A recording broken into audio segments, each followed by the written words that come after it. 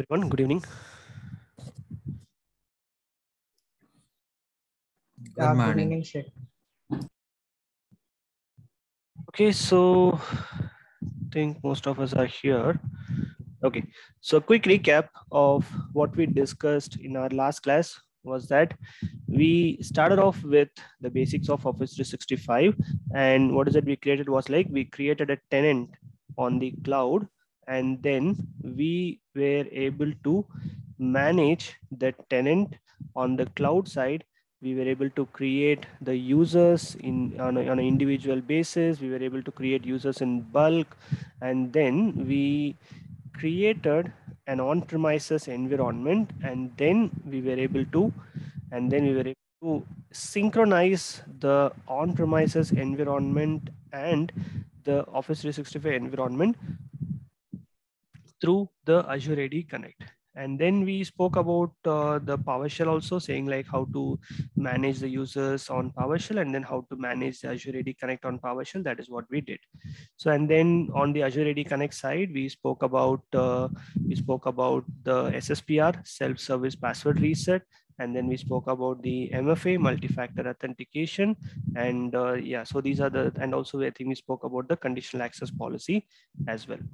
So now we are going to talk about the second core component of Office 365, which is called as the Microsoft Exchange Online. So this Microsoft Exchange Online, so this is purely for the mail purpose. So, so this Exchange server, okay, the Exchange server on the on-premises server on the on premises is the mail messaging server. Is the mail messaging server over here. So on the on premises i'm telling you. So this mail messaging this exchange online is one main reason that many many organizations opt for office 365 okay? It's extremely cost effective okay so let's take i think i told this scenario already but because now we are going to talk about the exchange online very specifically i'm going to talk about that. So let's say that you are having an on premises environment.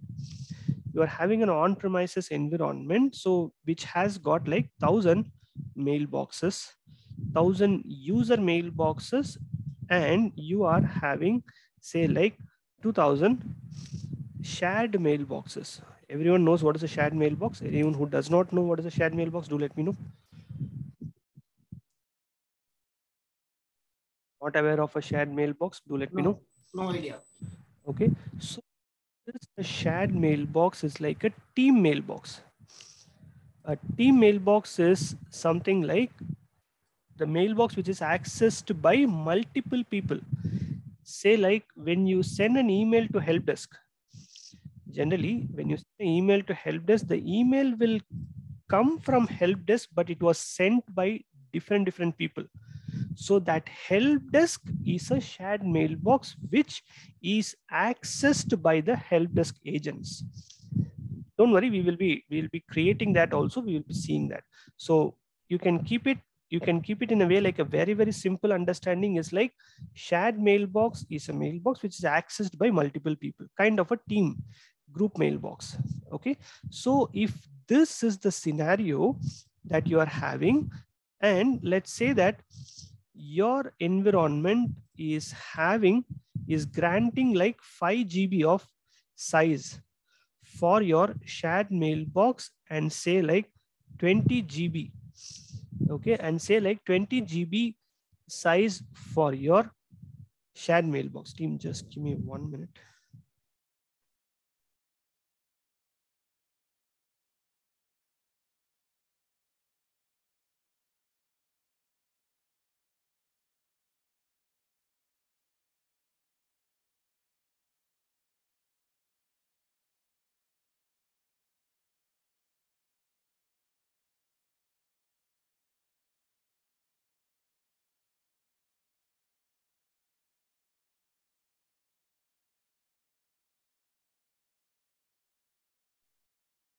that. So yeah, I was saying that in your on premises, if you are allocating a 5 GB of space for a user and say like you have to allocate a 20 GB of space for your shared mailbox, approximately you should be having uh, say like a 5 TB plus like a 40 TB is that 2 into 2 is like 4, 40 TB.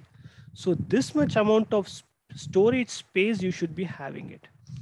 So now this is going to be a savings for the organization because Microsoft is giving when you go to Exchange Online on the exchange. So if, if some in an interview, someone is asking like, what is the difference between Exchange on premises and Exchange Online configuration? You can you can talk about this saying like the user mailboxes get a 99 GB or you can say like a 100 GB of 100 GB of size and say like the shared mailboxes get a 50 GB of size.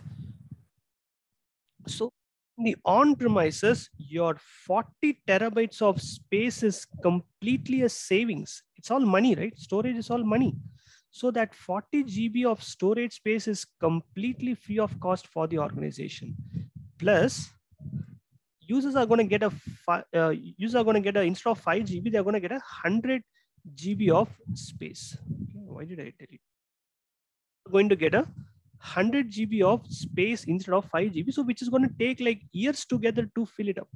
So that is an advantage. So that's why I'm saying that many, many organizations, they go for the Office 365 package predominantly for the exchange to enjoy the exchange services provided by Microsoft.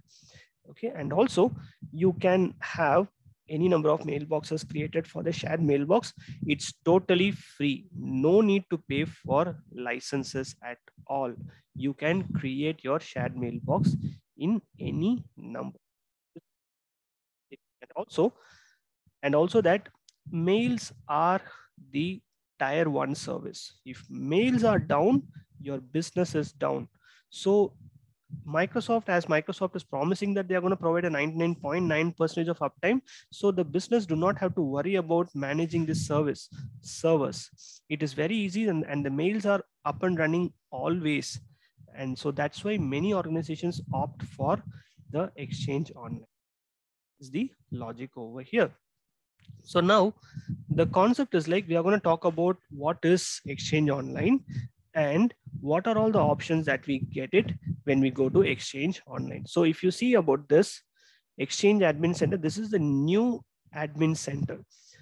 If I if you click on this one, classic Exchange Admin Center, you will be able to see this look and feel.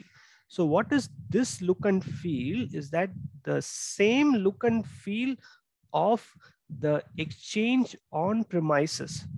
So this blue color look and feel is something about is, is exactly the way how your on premises work over here. So this is the logic. This is the idea over here. Okay, so this is what is happening. So in this case, so so let's talk about the menus. So because like portal is all about menus, right? So you need to know everything very clearly.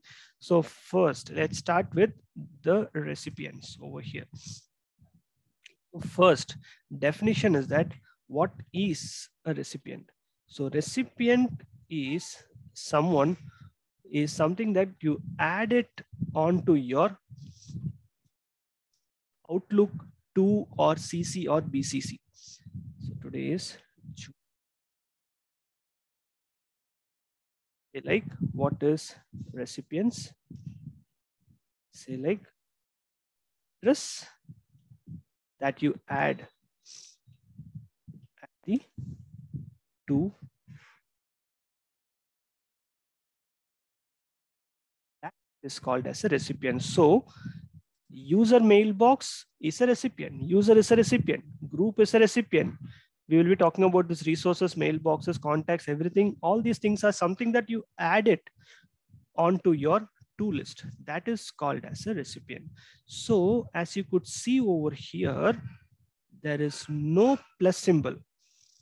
Okay, this is a tricky question because like only the person who is going to watch the portal very closely will be able to answer this question. Question is like, will you be able to, will you be able to create a user? Will you be able to create a create a mailbox from the Exchange Admin Center? This is the question.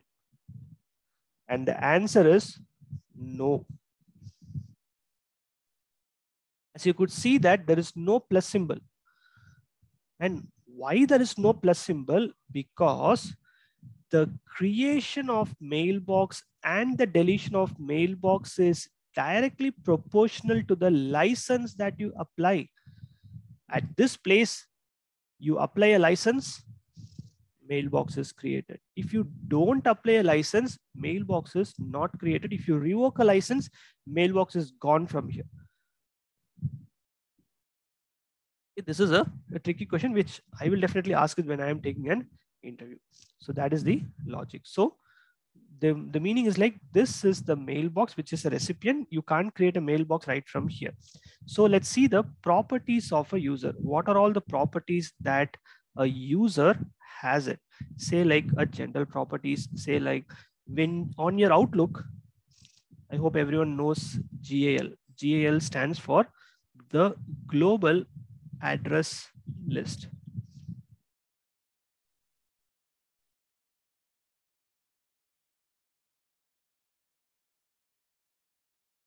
L stands for the global address list. So the global address list is something like which contains all the addresses, right? That, that's very simple.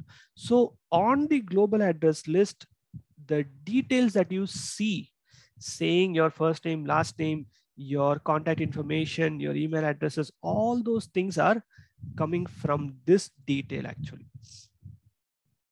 So it is coming the first name, the last name, the display name, alias, all those things are coming from here. Okay, so now let's see the mailbox usage. So this is where it says that the size of the mailbox allocated per user is 99 GB of size. That is the size confirmation over here. So talking about the contact information, as I told you, if this contact information is filled in for the user, that's when you notice it. That's when you see it onto the global address list. So the city, let's say like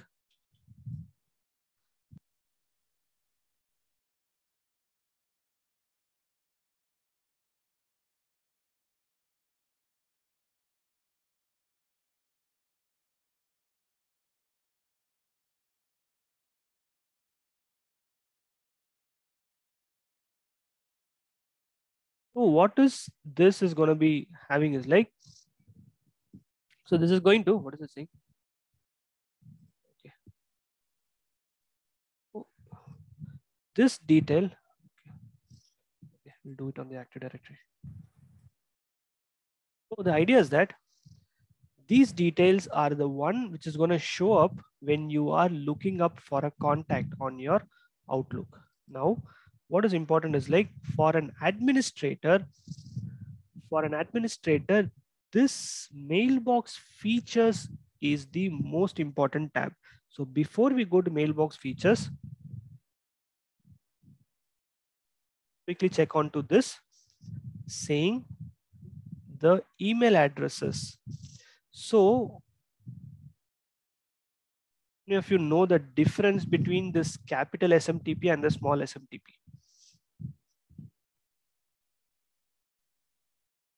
Difference between this and this capital SMTP versus the small SMTP.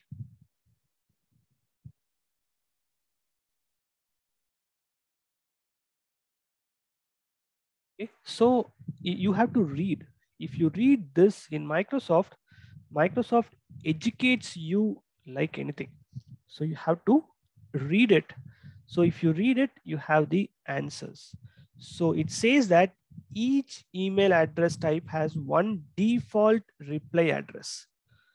When you send it, when you send an email, the, the receiving person is going to see this as a is going to see this as a email address.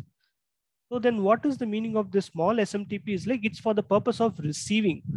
They can receive it in these address. In these two address, they can receive it. This is called as an additional SMTP. This is called as a primary SMTP. So that is the idea over here. So this is the primary SMTP. The capital ones are the primary SMTP. The small ones are the additional SMTP address over here. Okay. Now, so yeah, this is very simple. So if you want to add it, let's say that uh, there is a lady employee and uh, that lady employee is getting married. And after marriage, the lady employee says that, hey, I want to change my last name. If that is what the employee is saying, yes, you can do it over here. Like test to user zero eight.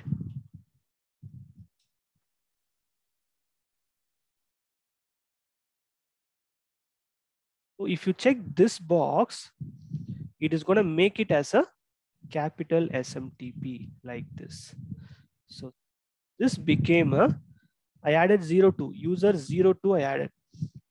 Okay, so this I added as a primary SMTP address. So this is a very common thing, right? Say like when they, when the lady employee wants to change their last name after marriage. So this is where you change it. So now the question is like, if someone is sending an email to the old email address still that will also get delivered. You shouldn't be editing this one. Okay you shouldn't be editing this one like this zero to no. If you do that way what will happen is like the emails will start failing. The, the emails will start bouncing. What what will get which email will get bounces like for example if this person if this lady employee has sent an email 15 days before if someone is replying to that email, that will fail. The Outlook cache will have that particular, will have this old email address in the cache. So that is the idea over here. So whenever you are adding an email address, whenever you, whenever there is a request is coming to modify the email address, you should always add it as a part of it. You should add it as an additional one. That is the requirement over here.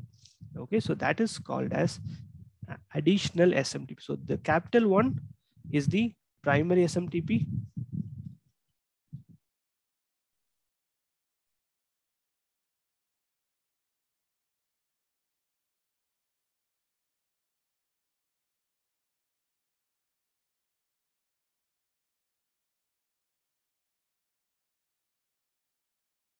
Oh coming back to the mailbox features. So this mailbox features is the one which says that what are all the options that a user really has it. Okay, for example, does the user have access to sync the mobiles on his mobile phone? Sorry, sync his emails on his mobile phone? Yes or no? That answer. Okay, so question about SIP. So SIP stands for Session Initiation Protocol. So this is meant for the teams. This is the teams protocol. Like the way how emails work on SMTP, the teams work on SIP. So that is the reason for it. So why this protocol, sorry, why this address is required over here is that the for the integration of teams inside the OWA. Inside the OWA, you have the Teams plugin, Teams integration, right? So that is possible if you have the SIP with you. So that is the logic over here. Okay. Now, come back to this mailbox features. So as I told you, to see what are all the facilities given to the user, is provided at this particular place. Like I said, does the user have access to mobile? To for, uh, does the user have have access to mobile sync? Yes or no? That you will get it over here. So let's start with all these policies. We will be designing all these policies and we will changing it. Don't worry, I will show you. So first, let's talk about this phone and the voice features, the mobile devices, disable the exchange active sync, disable the OWA for devices. So what is the difference? For example, if I ask you saying like, what are all the two ways of accessing Gmail on your phone? What two ways of accessing the Gmail on your phone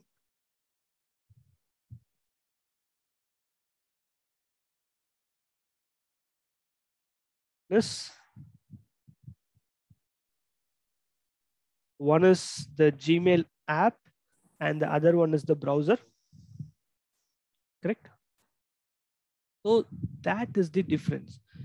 When you say it's an exchange, when you say exchange active sync, exchange active sync means that is the app app app method through the app. Okay whereas OWA for devices the meaning of OWA for devices means through the chrome through the browser. So depending upon that you can disable whichever you like. And also please remember that it is enabled by default. So it is enabled by default for all the users. If you want to disable it you can disable it. For example like if you think about the if you think about the banking environments what do they do is like they restrict they restrict mobile access for the employees right? So those kind of restrictions are applied right OWA here. Okay so you can disable the exchange active sync through the application or you can disable the over for the devices over here. That is totally possible. Next is the email connectivity are you going to allow the user to use the OWA outlook on the web. So that is mentioned OWA here. Saying if you if you say like we don't want users to be able to connect to the over because like outlook web access is something like people will be able to use it outside the environment over over a public computer or a private computer. So if you feel like restricting it you can restrict it right over here on the Outlook on the web, which is also enabled by default. And this IMAP and the POP3 are the old protocols, so which are disabled, sorry, which are which are enabled by default. So in in case if there is any environment like which is which is using it, which is using a very old very old uh, version, then they can use it. Otherwise, like now this latest, uh, this latest, uh, you know, versions don't use the IMAP. So that's the idea. Now, talking about the MAPI. What is this meant for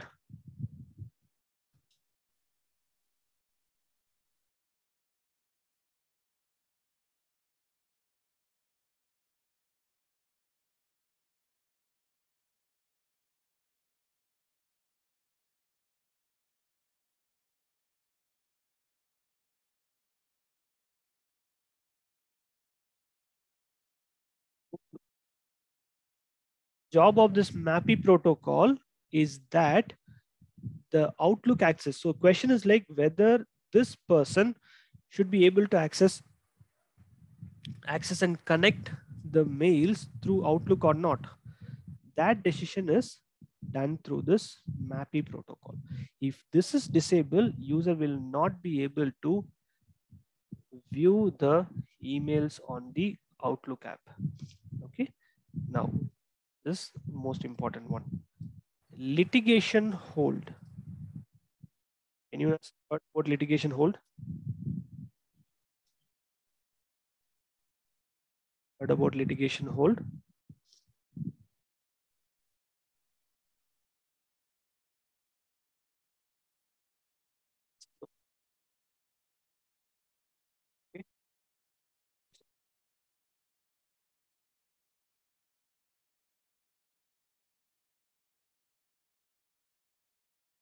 I'll tell you.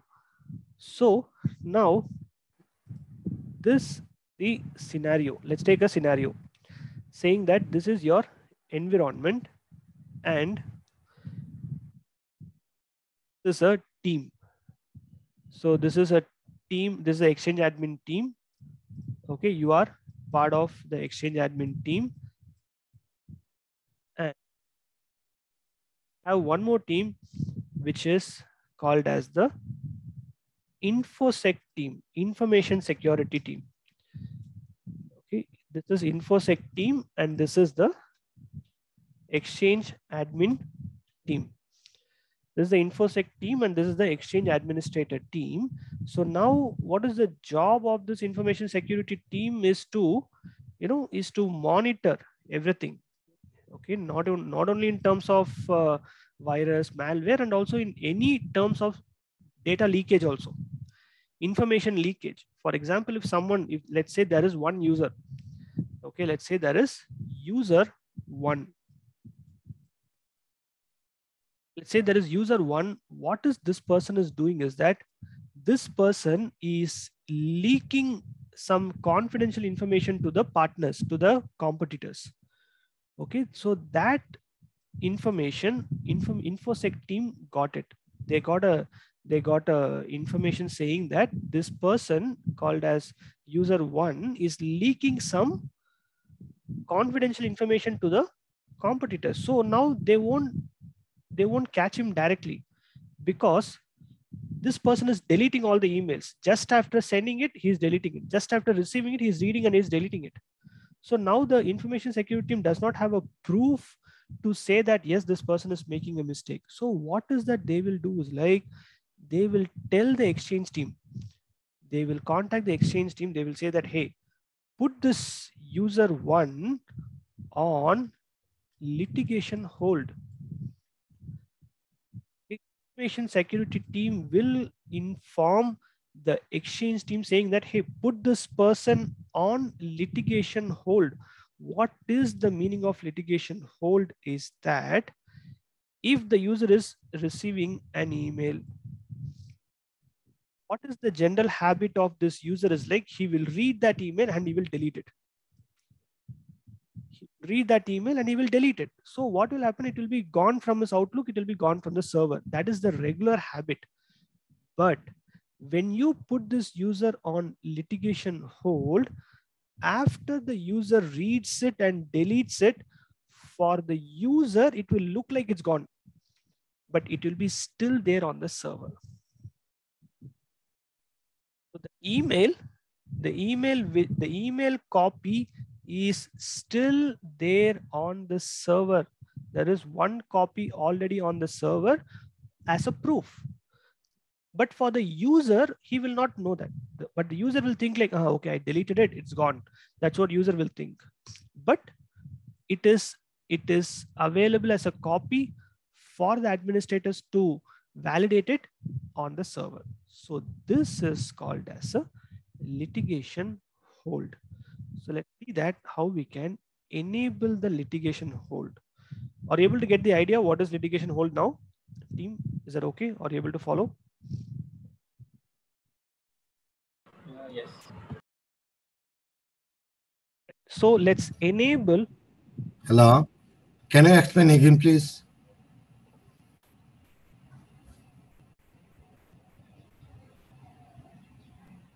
Please be understood. Hello. Explain that again. So the Susan, can you hear me? yeah, I hear you. So the idea is that if there is a person who is leaking the information to the competitors, so that person needs to be monitored. So that person, we need to find a proof against this particular person. So that is what is this information infosec team will come and ask us like they will ask the exchange team to put this person on litigation hold what is the meaning of this litigation hold is that the emails that the user send or receive even if the user deletes it from his mailbox it will be still there on the server but for the user it will look like it's gone. It will be gone from the user's outlook. The user will not be able to see the email, but it is it will be still there onto the exchange server as a copy so that the exchange admin team can take this and give it as a copy for the information security whenever requested Uh, one question, sir. When we add any person in litigation group or policy, he knows uh, he added in that uh, policy or group. will not know the user will not know Okay, thank you. Uh, I'll do that. See, now let's, we are going to enable the litigation hold for this user. So the, now when you are going for litigation hold, what is it saying? It is asking like how many days you want to monitor. Okay. So if you want to monitor for 180 days, or if you're saying like, no, no, I want to monitor it forever, continuously I want to monitor it, then don't type anything. That's what it is saying. That's what I'm telling you, you should read it. So it says that you when a user's mailbox is put on litigation hold, the user can delete items from their mailbox, but the items are retained by the exchange. Okay. So what is it? If you want to hold it permanently, use this property to specify how long the mailbox will be on litigation hold. Use to for infinite duration, simply leave this field empty. Here on the notes, you type in the incident ticket number saying like whatever the security team has provided you as an incident ticket number that you update it over here.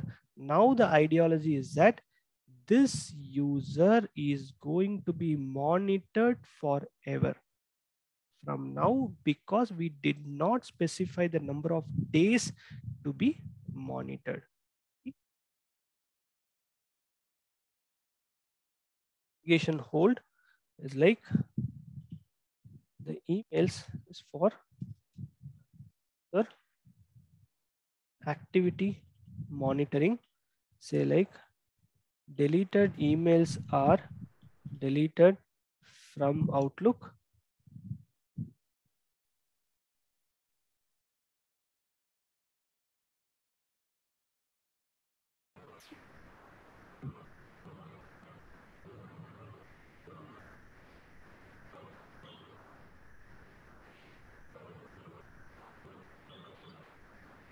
It's consumed these uh, like the same database space. Yeah, going to consume it is going to hold it onto the same mailbox same mailbox and same database.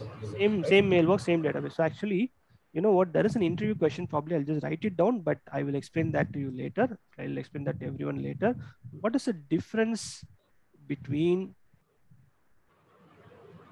litigation and in place hold and journaling. These three things it's a very common interview question. Okay so now you know what is litigation. Slowly you will understand what is the meaning of in place and journaling. So we will talk about that as in when we move on. Sheikh, I have I have one small thing is like uh if if any user delete the the mail, so that's mean is not a meaning of like he's leaking the email, right? deleting it's not leaking but if he's forwarding and then deleting that's leaking Yeah, that, that's mean so. So if somebody by mistakenly delete any email, so that's mean security team uh like uh, uh, make a doesn't make a investigation for him. just like the deleting why someone needs to investigate but deleting an email which came from the competitor means it, it needs to go for an investigation. Point. This user one is getting an email from the competitor. Okay that email if this person is deleting then it needs to go under investigation. Means like this email will also be there on the litigation hold this email will also be there on the server Yeah. yes that's what if there is any slight doubt by the infosec team only they will ask the exchange admin to add this person onto the litigation hold that's how it is so Alright, if you're thank you. asking yeah if you're asking like incoming email should I delete it means yes there are chances. Sent items should I delete it means yes there are chances. Both the way. Yeah. All right. I gotta know. So, uh, Shrikant, so information security team, when we talk about the compliance, so so team, there is a question coming up saying like, how does infosec team know like there is a leakage? So that also we will talk about that when we talk about the security and the compliance. So when we talk about the security and compliance, there are a lot of policies. We will design it so that those policies will notify the information security team saying that there is some leakage happening. Say like someone is trying to send an email with the word confidential. Someone is trying to send an email which is which is like um, which is containing some specific word or a keywords. So those can be monitored. That is the logic over here. So through that, information security team will come, uh, will will have that information. Okay, cool. So now coming back over here. So we spoke about the litigation hold and we enabled the litigation hold also. Now say that uh, litigation hold specify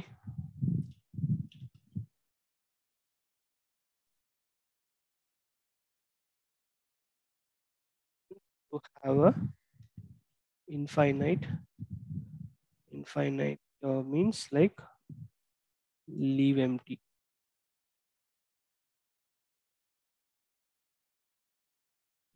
logic of a litigation. Archiving what is archiving?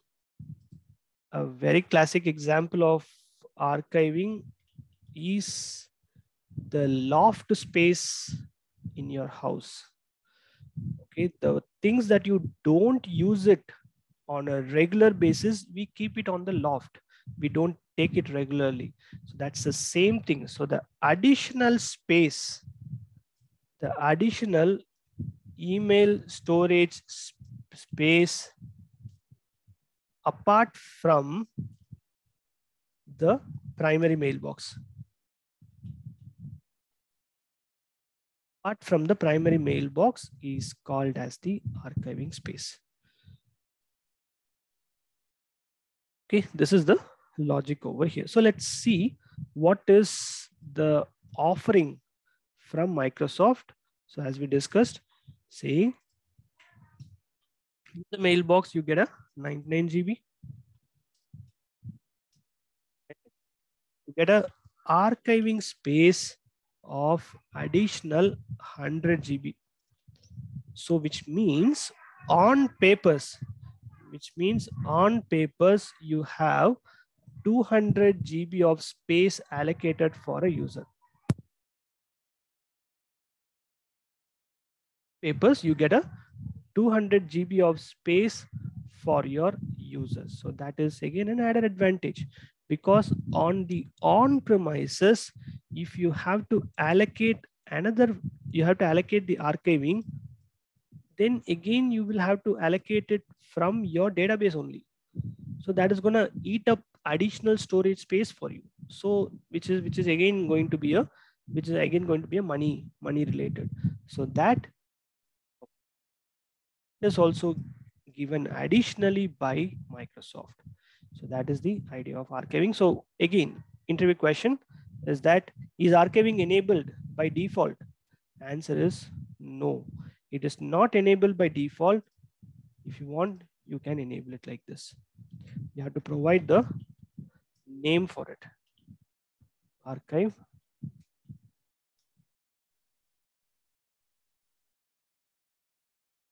Name for it. So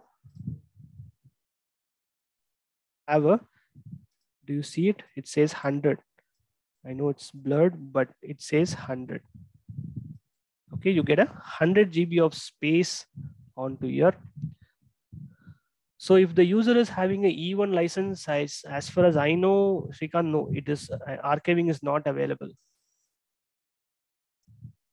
Okay, so because on E1 you get a you get only 50 GB of uh, uh, primary mailbox space, another 50 GB of archiving space is only what you get it. So check check on that uh, PDF file. If you can check it, you can get an idea. Uh, I have a question. Uh, I want to just clarify. Uh, like in the on-premises, we have configured the Outlook, okay, and uh, uh, suppose we have already provided the uh, 50 GB space to user, okay, and it's already exceeded. So we request to user to archive their mails to in the local PST data file, right? Correct. uh, Correct. through the Outlook. So uh, in the Exchange Online, uh, we need to like configure the Outlook and archive it on yeah, where we can archive it. Like where we how we will get the these 100 GB space uh, we need to archive here and how we will get it. Question? Like just I want to access the old Yeah. mail, so how I can access all these things. This once you enable archive for this user, the archive mailbox is available alongside the primary mailbox. You don't have to add it, you don't have to configure it, you don't have to connect it specifically. The moment you the moment the archiving is enabled, it is available on the left pane automatically alongside the primary mailbox. So I will get the like some pop-up. Not a pop-up on the left pane where you have your Okay. uh, inbox on that left pane itself you will see this name that you configured the Okay. name that you configured over here the name this you configured right this name Right. you will see it this name you will see it when you open your mailbox. Let's see probably after i complete this i will save this and i will see if i can open this user's mailbox so that you'll be able to see it on the left side. So wait. I will just enable it for the administrator and I will open it side by side.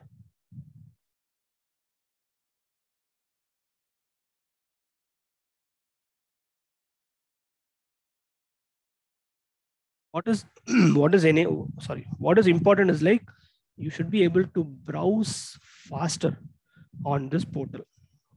So for that you should be for that you should be knowing like which option is available where. So that is the idea.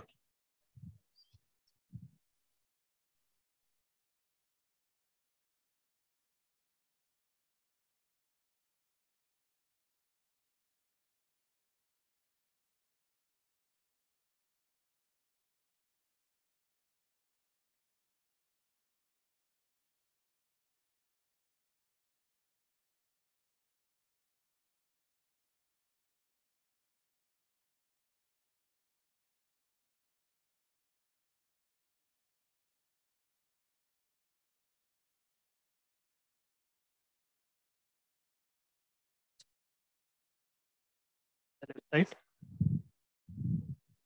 Do anything. I just enabled archive readily available for us. Anyone? Anyone having audio issues? So like Hello. how we can create is, is like uh, suppose we have a, like a same folder structures like uh, like just like Outlook we have created a folder uh, folder structure as per our like comfortable right okay like I want to uh, create some folders where the teams will go into this and receive these some other notifications will go to into different folder so just want to like uh, when we have like archive in the Outlook okay uh, there was options uh, like archive like like this. So when we just choose uh, we have select the like follow the complete like uh, subfolders uh, for the archiving. You mean to say like, can we create an Outlook rule that can land the email onto this archive? Is that what you're asking? Uh, this one and the same same folder structure. Is it possible? Same folder structure. No, you cannot deliver email to this archive. You can only move the email from the primary to the archive. You can't make the email to be landing onto the archive. No. That's okay, but uh, we also cannot able to like uh, create the same folder structures. Uh, And you can create subfolders here. So that is is totally possible. Like, uh, yeah. See this? You can create it. Suppose we have a number of folders, like uh, folders and You can- you can create- You can create But- any structure that you like it. but this is the manual process. But in the Outlook, we got the options archiving, and we select the like uh, include sub info, uh, sub folders. And where, where do you get by default the subfolders, the, the personal folders that you created? no, no, suppose, uh, suppose I'm the on-premises user, I'm using Outlook, okay, and uh, I want to archive my mails in the uh, new PST data file, but I want to, like, uh, users uh, requesting me, I want the complete same folder structure in my archiving. So when I just go to file and options, then select the archive, here there is the options key just uh, for the archiving, include sub all folders. So when we are going to be archived, it will create one by one the complete folder structure as uh, for our OST. Understand what you're saying? Yeah. Yes, that is true. That is the archival available on the Outlook, correct? But here, uh, probably like uh, you can try it on Outlook. I never tried it on Outlook, but see it on Outlook if it is creating the same folder structure. Sheikh, Arun, you try and uh, let me know. Yes, Ozan, go ahead. no, no, this is Abid. Uh, we, we can create subfolders uh, manually, same as uh, and rename them as uh, sent items, deleted items, and we can put a rule to move from uh, from the primary mailbox to the archive one. It will not create automatically, but we can create the folders and uh, name it as uh, Yes. Mail archive. What is Tarun is saying is that if you look on the Outlook application, if you go to file, there is an option below the data file management, there is an option called as archive. So if you click on that archive, if you want to archive the inbox on the wherever you want to archive it, it will create the same subfolder structure and it will archive it. Say like archive Yeah. before 2022. If you say that, it will it will archive everything before 2022 into that particular folder in the same in the same hierarchy is what Tarun is saying. But what I'm saying is like that is not possible on the Outlook web access, but I never tried it on the Outlook online, uh, is what I said. Yes, yes, you're right. Hello. Hello. Say, good. There is any any uh, relation with uh, archive mail and PST and OST between Everything is related. I wouldn't say like yeah. So what is PST? PST stands for personal, personal storage. personal storage table so Uh. when this pst comes into picture is like when your mailbox does not have enough amount of storage and this pst file is stored on local Okay. storage On no local storage. on your local laptop Uh-huh. correct it's stored on the local laptop whereas what is ost Offline OST storage. the- yeah, OST is offline storage table, which is a copy of your mailbox downloaded when you configure. Correct. Configure the Outlook. That is called as the OST. Okay. So right. PS, PST is a manual process. OST is an automatic process. Do you agree? Yeah, I got it. PST means like you have to manually create the PST. OST is like the moment you configure Outlook, automatically your OST will get created. And what is the third one you asked for? Archive, is it? So whenever we uh, create archive folder or file, so there is any specific time, so how long we can mm, uh, we can put in our mail in an archive, so like a 10 years, five years, three years after then it's, it will that we will talk about on the retention. Discuss on the retention topic. all right.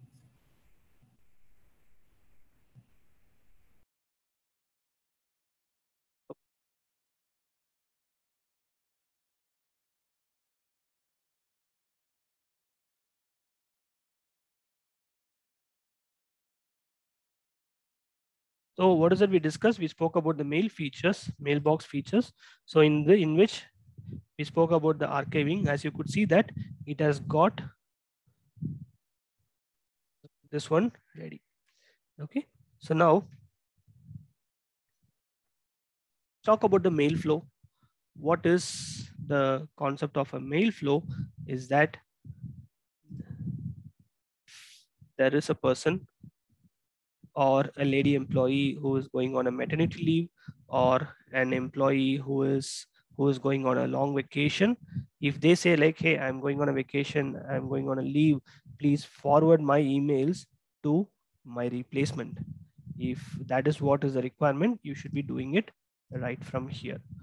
And there is a very important checkbox saying deliver the messages to both the forwarding address and the mailbox to both of them so that when this person is coming back when the actual person is coming back after vacation then that person will also be able to see that email. If you don't check it it will be only forwarded. The actual person will not be able to see that. So that is the reason for this checkbox. Now it says that the maximum recipient limit is set to 500 okay so now i have a question for you saying that i have a group.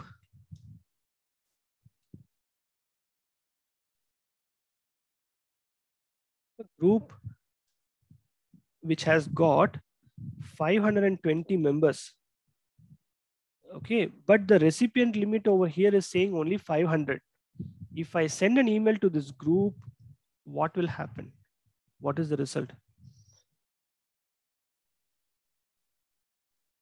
will deliver only 500 percent. so it will send only for the 500 so in what on what basis is that in alphabetical order size of the mailbox in what order No idea. I- as when I edit.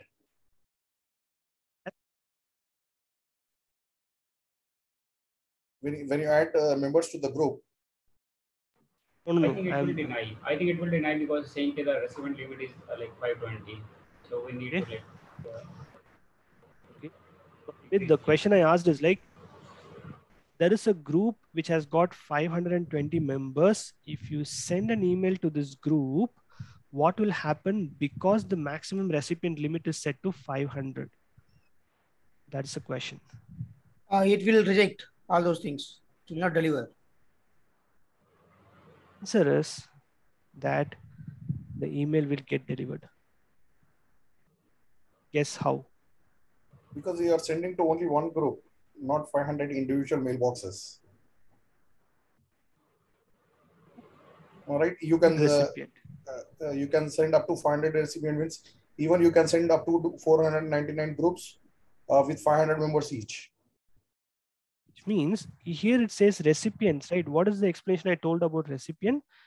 One mailbox is one recipient. One group is one recipient. So that's why this tricky question. So one group is one recipient. So it does not matter if there are like thousand members also, it doesn't matter. It will go out smoothly.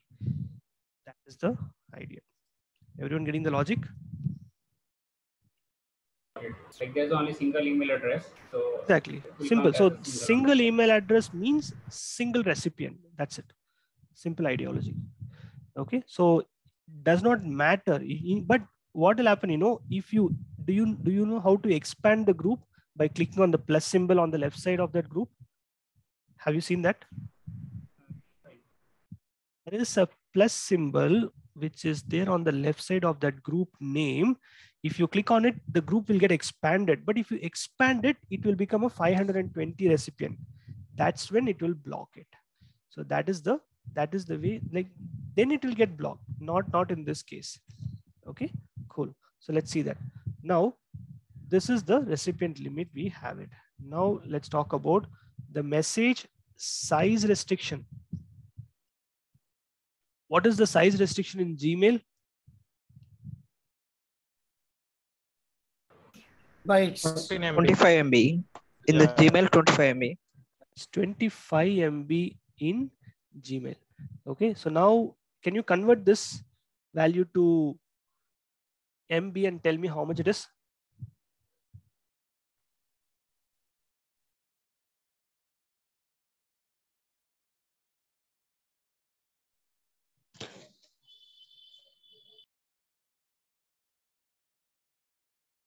Is two five Six zero. six zero zero.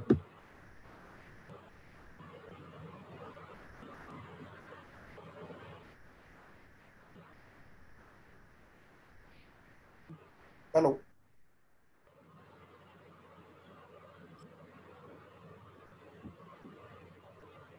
How much MB it is? If you divide this, 35, 35 MB. yeah, if you divide this, it is 35 MB. This is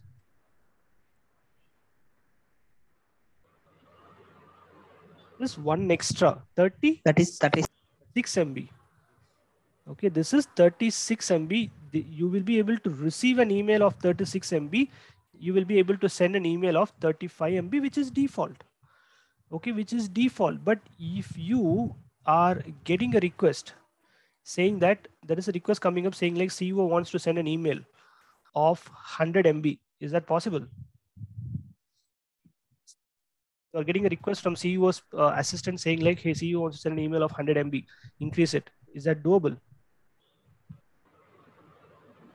Yes, you can edit it. The limit. What is the uh, main organization limit? Did you set any limit on the organization level? Oh, this is online, right? Why do you talk Yeah. about organization? So this is individual individual mailbox. Rasanjit, answer is right. So see this on Yeah, the right can- side.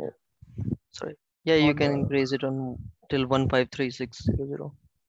right side you have the answer for exchange online organization specify a size between 0 and if you divide this by 1024 it's going to be 150 mb 150 mb is the maximum limit whereas if you go with the on premises yes what are you saying is like it's 2 gb if you divide this it's going to be 2 gb so that is the idea. So, but because it's exchange online, right? So the max to max you can have it is 150 MB is the max you can have it.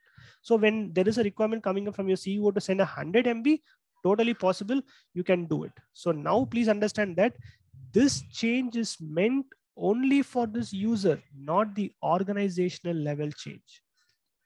Okay, this is not the organization level change. This is the user level change that we are doing over here that you can do it at the message size restriction. Okay, say that message delivery restriction. So what is the meaning of message delivery restriction is like, do you want to block it from someone? Say for example, let's say that your CEO wants to get an email only from the board of directors. So not, not, not like anyone can send an email to the CEO, no that should be a restriction. The restriction is that only the board of directors should be able to send an email. So what is that you should be doing? You should add probably if you have a group, if you have a group, then that group you can add it over here. So that only the senders in the following list will be accepted. Or else you want to reject it from person that also you can. This accepting and rejecting is possible at this place. That is the logic over here. So these are the options. So when the user is asking for something, you should be first looking at the mailbox feature and see that whether the facility that the user is asking for can be provided from this particular place or not. That is the logic over here. Okay. This person is a member of this particular group. That is the idea over here. It's very simple. It's like a member of a group, which is a member of a distribution group. Now, mail tip. What do you understand? Have you seen a mail tip? I'm sure you would have seen it, but you need to know whether that is mail tip or not. Have you seen a mail tip?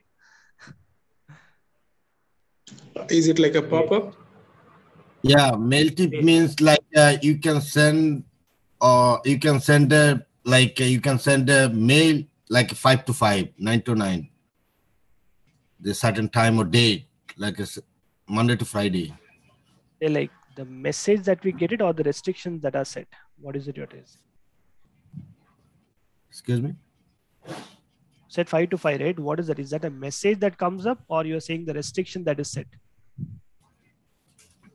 It is uh it is not a restricted like uh, you can send an email mail like 9 a.m. to 5 p.m.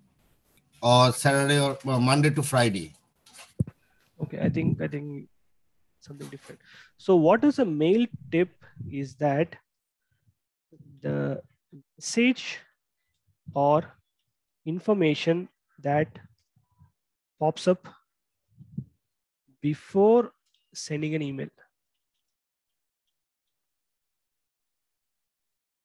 For example when you're sending an email to an external user it gives you a pop-up saying that hey you are sending an email to an external person.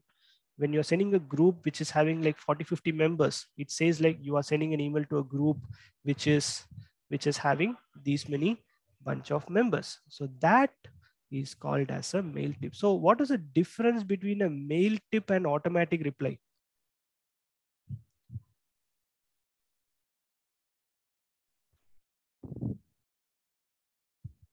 Like if anyone just send the uh, mail on the uh, user id uh, where we have set the uh, out of office okay? So it will be delivered to internal external user. Okay. In the in the And mail the tip, mail tip when i just uh, uh, like click on the mail and try to send the mail to uh, respective user who has set uh, the mail tip so it will just pop up on the uh, uh, top of the message in the mail tip, before you send an email, you get an information. Yep. You get- you get the uh, whatever information they said. But automatic reply, you get the information after sending an email. both you will get a information plus acknowledgement you get it do you agree? Yeah. mail tip you get only the info.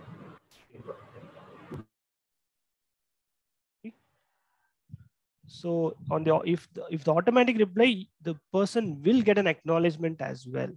Whereas in the mail tip the user will get only the pop-up. Other than that it will not have anything. That's the logic over here. Okay. Now the mailbox delegation okay the mailbox delegation is the permission that you want to give it to someone. For example if this person is a cto or a ceo this person has an assistant. There is an there is an assistant or a secretary for this particular user. So then you need to grant permission to that assistant or a secretary like this. So that the secretary will be able to access the mailbox and the user can send an email from there. So that is called as a delegation permission granting. Permission granting is called as a delegation over here. Box delegation. So there are like three type of permission available. One is a send as send on behalf of and the full access permission. So the meaning of send on behalf of is that the user will when the recipient is receiving the email he will be seeing that user a on behalf of user b. That is what it will say. Whereas if you if you grant a send as permission it will be sent as it is. It will send as it as the manager has sent it but in send on behalf of it will say like the secretary on behalf of the manager that is how it will show so that is the logic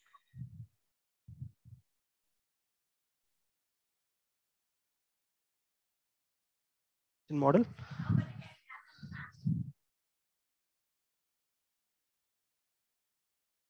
Tim, just give me a minute. I'll, I'll be I'll be back. Tim, just give me a minute. I'll be right back.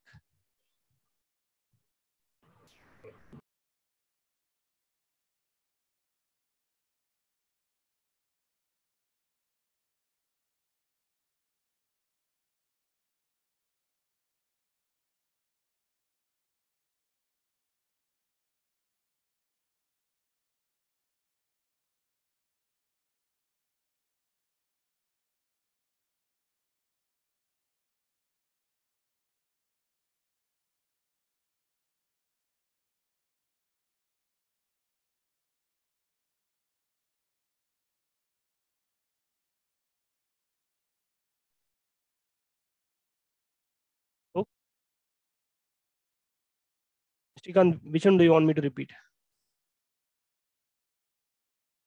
Mail delegation. Lee? Okay. So the mailbox delegation means granting permission. So there are three type of permissions available.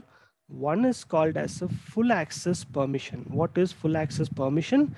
Is that it is gonna it is gonna make the person to open the mailbox like a mailbox owner. Like the way how a mailbox owner will will will perform it that's the same thing. So in what scenario is this applied is like when there is a manager when there is a manager and there is a secretary model. So there is a secretary who needs access to the manager's mailbox.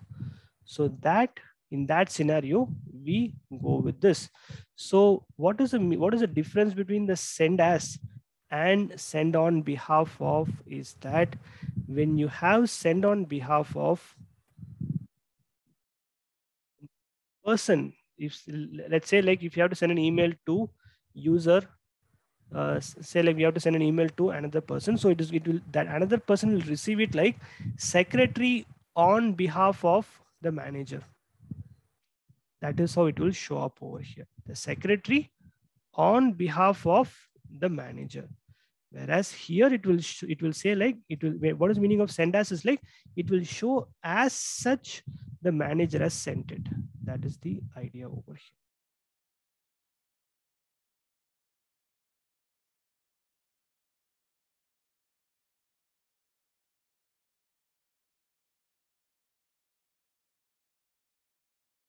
well actually all these things exchange what is the interesting thing you know? It's like it's like highly real time and highly relatable which we use it on a daily basis. So this is the logic. So what is the concept is like if you want to make any changes in bulk what is that you can do is like you can select it like this and you can make the changes right over here. For all these users if you want to make some changes can do it over here. Say like for all these users you want to set a message size restriction you can do it over here. That is possible. Okay. Uh, Dawood, hello. Uh, are we able to see that uh, send behalf of uh, email address or we don't have that option to see that email? you have we you have a, you have an option. Why not? Okay, how, how can we find that? on the recipient when the person who's receiving it the person will clearly see that it is sent on behalf of another person. Wait, if you want to test that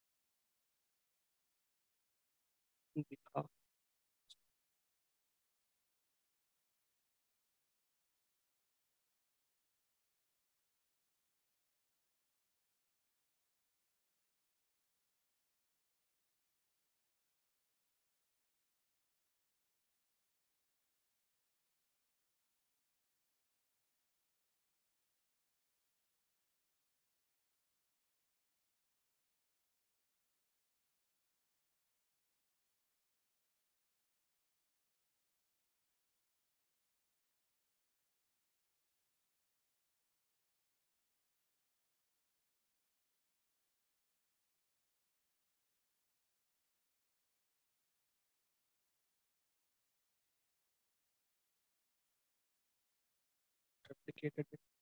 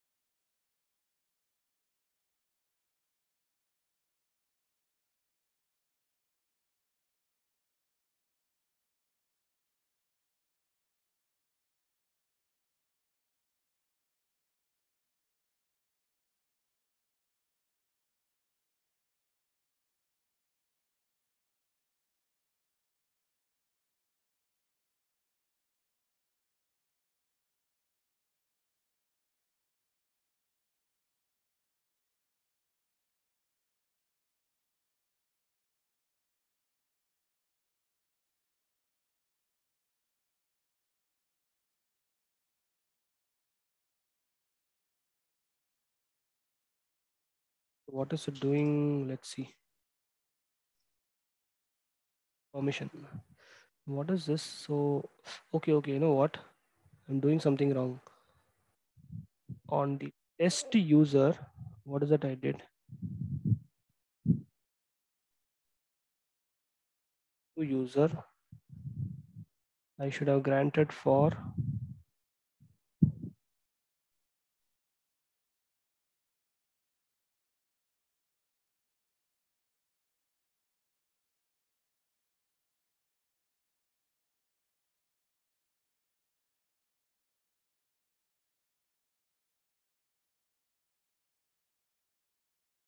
what is the stupid thing I did? I should have granted for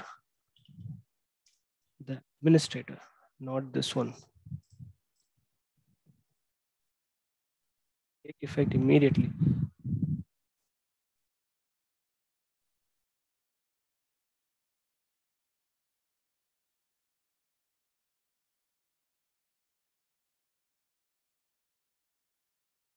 I mean, in few cases, you won't get an option saying show from. So that is a common problem. So always use a different browser in case if you are facing that.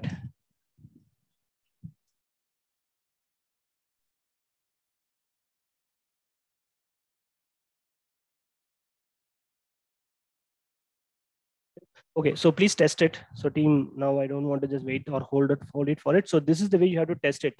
So please test, send as and send on behalf of. That's a task for you all. Okay. Okay.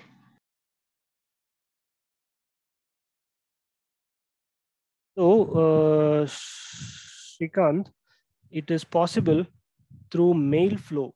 So we will be talking about the mail flow. So what is the question that we are getting is that from Shrikant is that we don't want to send an email to one particular domain. That one particular domain, Shrikant, or like external emails should not be going at all? Yes, uh, suppose I'm working in like a Capgemini. So in our organization will be restricted to send any uh, user uh, to other domain. So external emails are completely blocked. Correct? Yes, external. So Yes, is that right. okay? Is that on-premises environment or a cloud environment? Cloud. On the cloud, right? So in this case, mail flow rules only you can do it. Mail flow rules only if you create a rule saying that all the emails which are external, which are like sent to any other domain, then block it. Simply we can do that. We will do it. We will be talking about the rules as in when we move on.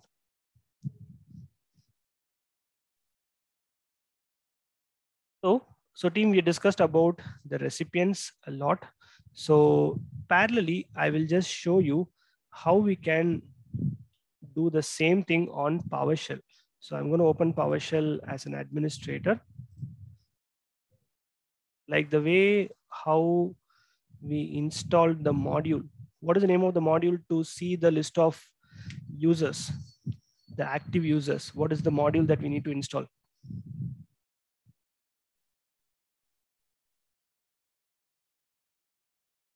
Module that we need to install when you want to Yes, see the list of all the active users.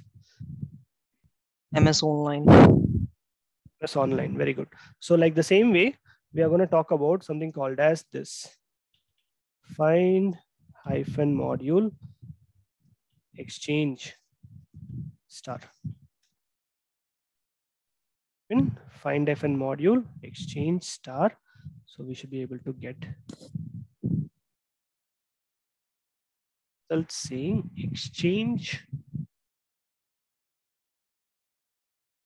Okay. So what is important is like you need to confirm it if it is from the Microsoft.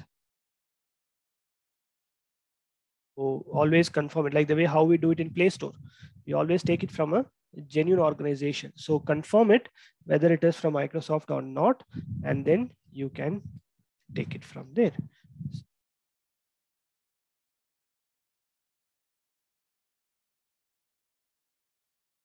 it's okay. Let me install it.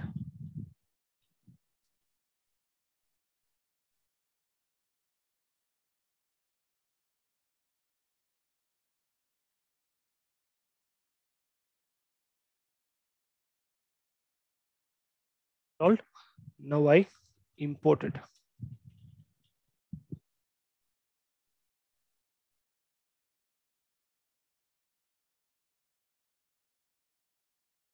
Put it. What is the general way?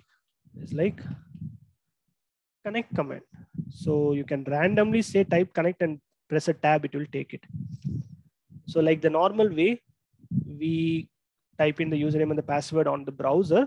The same way, we are going to provide the username and the password right over here. So use another account.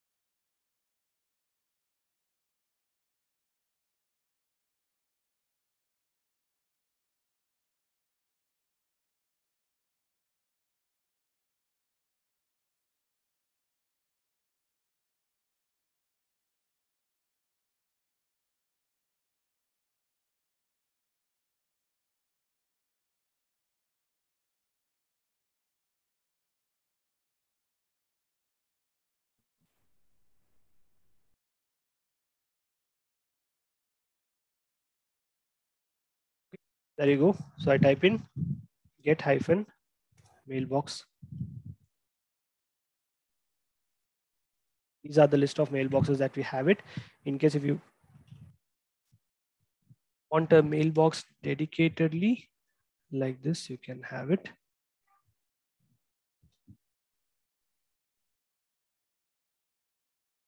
See the complete list of all the properties for the user. See this maximum send size, maximum receive size, 35, 36 MB. Whatever we saw that, whatever we saw that on the GUI, we should be able to see it right over here via PowerShell. See this, everything is of archive quota, you have it.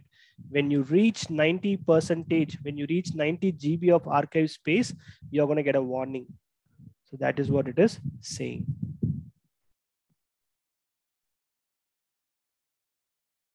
Issue warning quota when it is reaching 98 GB for the primary mailbox. That is what it is. Just 100 GB, you will not be able to send and receive. Prohibit send is 99 GB. So that is the logic over here. See the complete list of properties.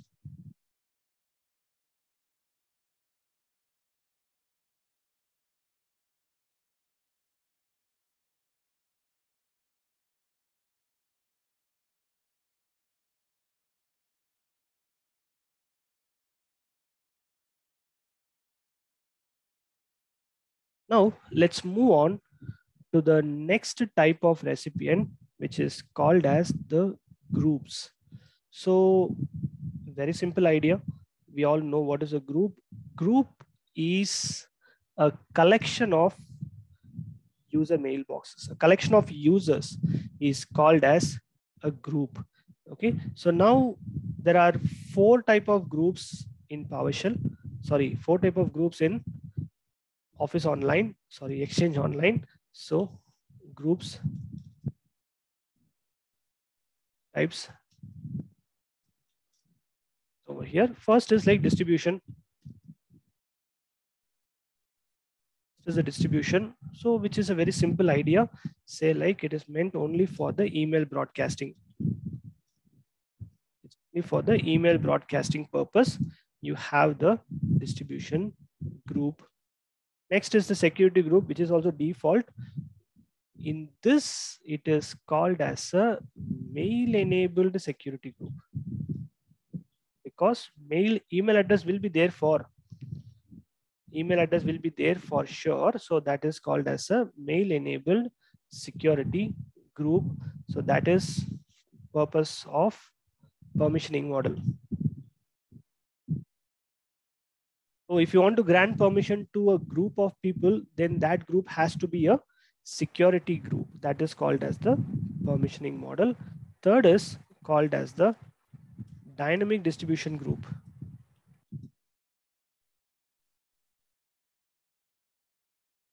So what is a dynamic distribution group? Go ahead. I guess a query based uh, group uh, where we have like we find a query as per the uh, common attribute uh, which is defined on the user uh, properties. So the group members, uh, yeah, the group members are added and modified depending upon the query. Say, for example, you want to create a group for all the Bangalore employees. So you can create a group with excuse the query saying city is equal to Bangalore. Say if you want to create everything for Mumbai, city is equal to Mumbai, city equal to Delhi, city equal to New York. Like that, you can create it so that what will happen is like the moment a new person joins the Bangalore Bangalore office, that person will be automatically added to the group. If a person is leaving that Bangalore, if the person is leaving the organization, the person will be out of that group. If a person is moving from the Bangalore office to the Mumbai office, if the address is getting updated, okay, if the HR is updating that person's office address, office, uh, so, sorry, the city saying like, like it is removing, the, the HR is removing Bangalore and adding Mumbai, immediately what happened that user will be removed from the Bangalore distribution group and will be added onto the Mumbai distribution group without any administrator intervention. So that is called as a LDAP query based group. Don't worry, we will be creating it. So that one is called as a M365 M365 group. Job of this M365 group is that a single group, one group exists at, correct, that's right. It's, it's going to exist at four places saying it will be existing at the Azure AD it will be existing at the exchange online. It will be existing on the sharepoint online and it will be available onto the teams online. So when you create one group that one group will be available at four different is called as a m365 group which also we will create it. Don't worry just a theory part for your understanding. Yes. This is the same group where under we can create the channels in Teams. Right?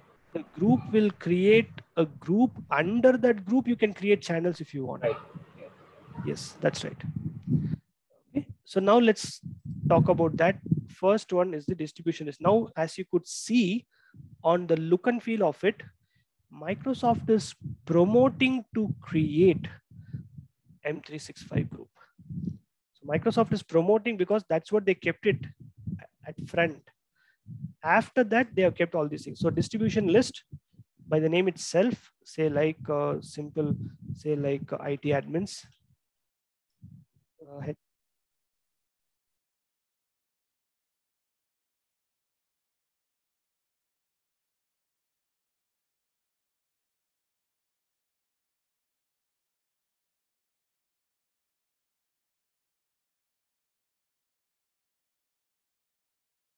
I just created a distribution list, which is a very simple thing. As I told you that that is meant only for the purpose of the email broadcast. Now let me go create a security group, which is on the exchange side. It is called as a mail enabled security group. So I say that IT admins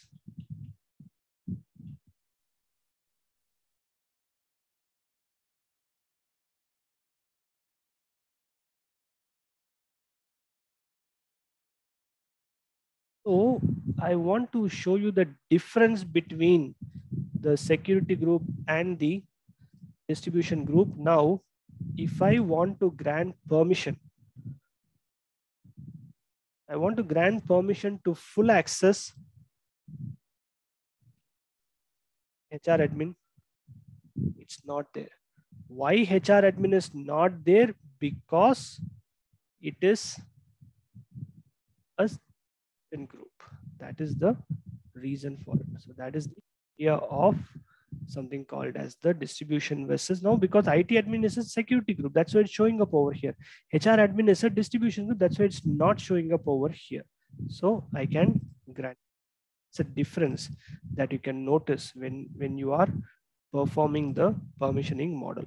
So talking about the dynamic distribution list, say that KA user.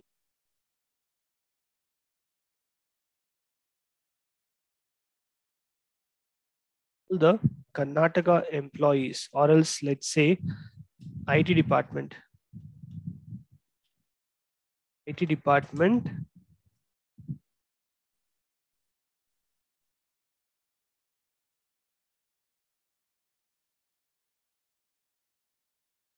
owner we can add a owner for the dynamic distribution list, but it's of no use. Okay, so just because there is a owner, that doesn't mean like the owner can change or modify the, the members. No, only the member modification is possible through the query, not through the, not through, not by the owner. That is the idea over here. So, is it saying? Who's going to be the member? Specify the types of recipients that will be member of this group i say that we don't want anyone and everyone. We want only the mailboxes. We want only the mailboxes to be available. So i'm going to click on this rule because i told you that it's a query. It's a rule based group. So i click on this. I go check department. If the department of this user is set to IT, then you add it, this particular group. So anyone, any person who is whose head whose detail is updated as IT department will be automatically added over here. So if the person is moving from the IT to the HR, to the finance, accounts, wherever that person is moving, automatically that person will be removed from this particular distribution list and will be added to the other one wherever he or she is moving. So this is purely based on the query.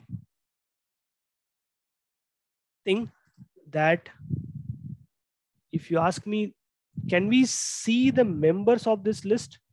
Answer is no. On the GUI, you can't see it okay on the gui you can't see it but on powershell yes you can see it.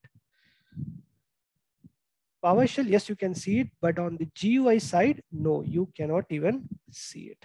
That is the idea over here.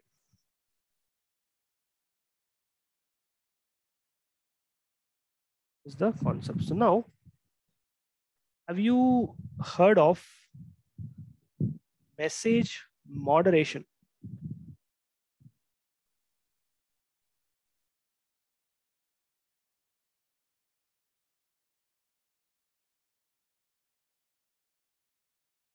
Oh, no. Okay.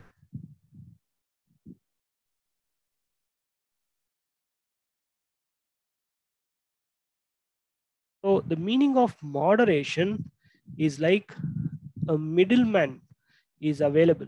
For example, see this. If I go to this message approval, if anyone wants to send an email this group called as IT admins only after this person approves. Only after this person approves, the email will move forward.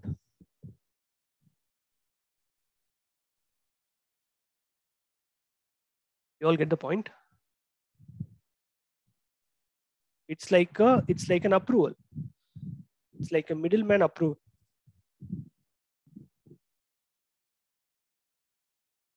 So that means if anyone is trying to send email on this group, so users require the approval for this Exactly. from the owner.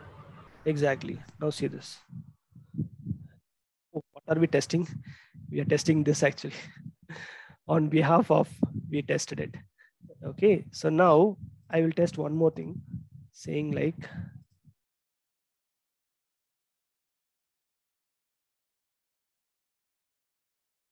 to IT admins.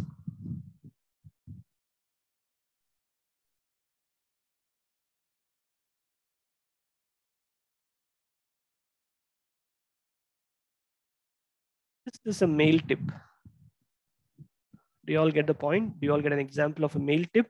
It says that messages sent to this to this group are moderated.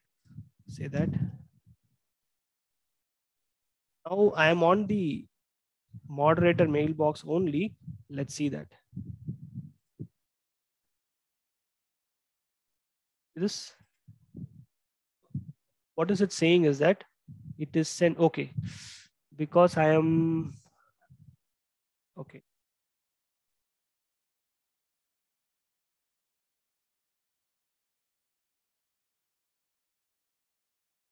Because I sent it right, that person does not require a moderation. That's what I set it.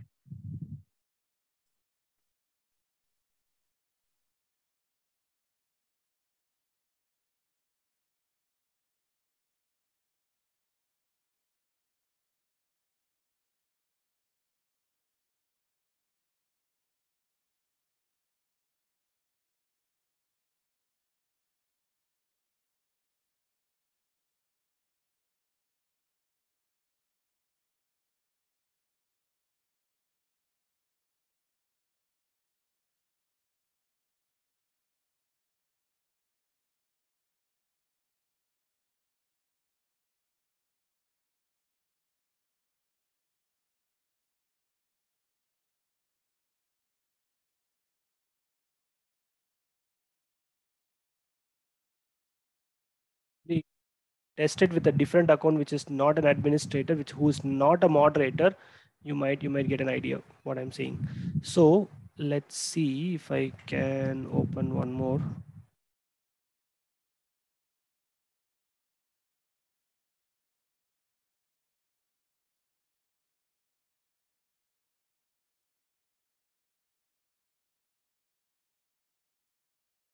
This.com.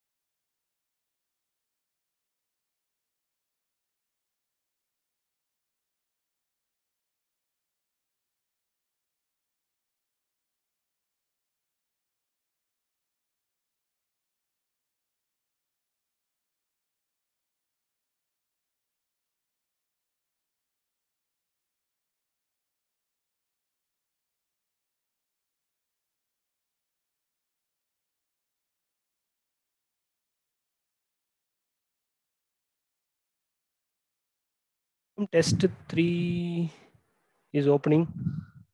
Is it test three only?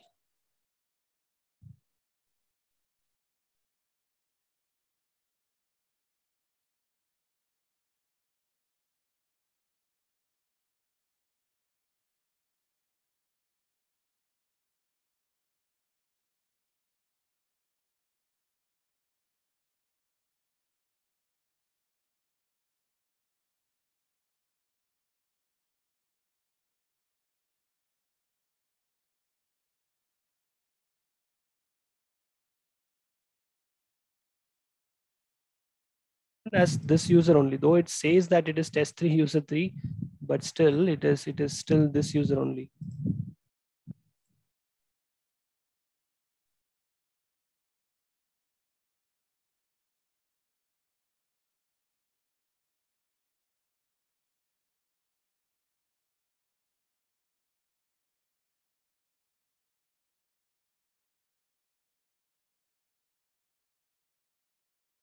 last try. After that, I'll leave it to you to try it because if I keep on trying all these things, we will not be able to move forward. For this password again.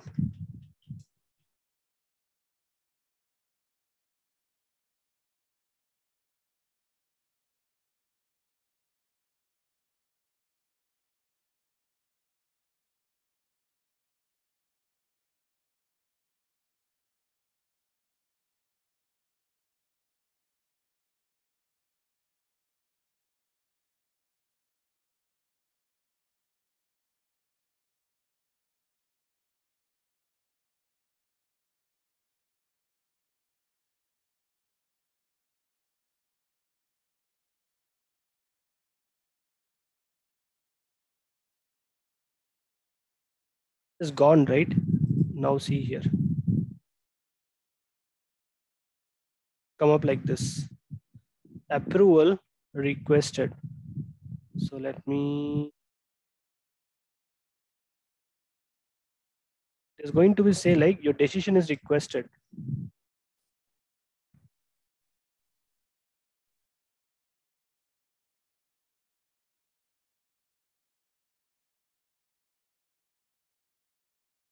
You all noticed it what i'm saying. Yes like saying approval requested. So when there is a moderation it is going to say like that.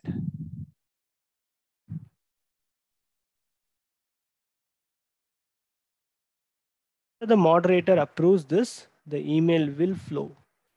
Approve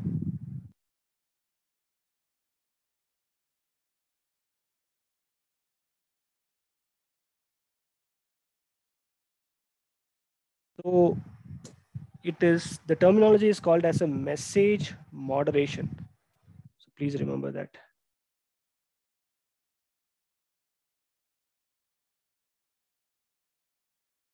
We know about the features, but don't know it. Sorry, what what? Know about it, but uh, don't know. We will call it a message moderation.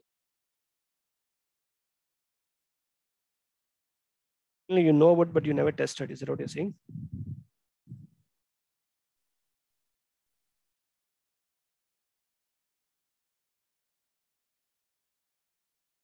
Sheikh, I have tested, but uh, no, exactly name I don't know about the technology. Like it's a message moderation. And the one more thing, uh, Sheikh, I have a concern. Like, uh, suppose I have created a normal distribution group. Suppose from uh, AD side, from the AD side, uh, if someone like convert their group scope and type, like from uh, group type is a security, convert the like so. It, this group is uh, like I have created XYZ group, okay, suppose as a normal distribution group, and uh, some other thing uh, from the like access management, uh, they convert this distribution group as a mail level security from the AD level. Change the group type security, and the global scope is a glo like global instead of uh, like uh, local and uh, universal. But that time I was not able to see the exact group type in my exchange level. On premises, is it? Yes. Like on PowerShell, like what is the group category saying? Uh, no, no. Like it just I have created a normal distribution group, okay, and uh, like uh, where the 10 or 20 members is uh, added for the broadcasting, okay. But after that, after that, sometimes like access management team convert this group into a security. They change the group type security, and the group scope global. But we at the like at my exchange level in the ECP console the group type is still distribution showing, but in the AD level, it is security. When I'm going to add some users through the ECP, it's giving me error. This is the security uh, group, so you're not able to add the uh, group in this.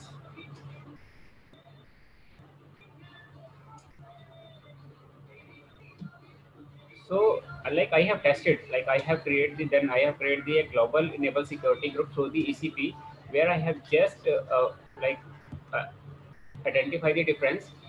If I create the mail enable security group through the exchange ECP console, okay. So there is the group scope type is a universal by default. You take it offline with some screenshots, Tarun. I can't visualize like what you're saying. But okay, I, I'll I'll send you. Because like these things, you know, if I don't see it, like I will not. I just want to like just want to clarify. Like I have identified the difference. Where is the like why I am not able to get the exact group type when the AD team is going to convert the group distribution group into the security. Okay, there's uh, the scope is uh, global. Okay, but the security type when I have just uh, create through the ECP console the scope group for the mail enable security group is universal. So universal group group type is sync like on AD and uh, ECP console. But for the global, it is not getting sync.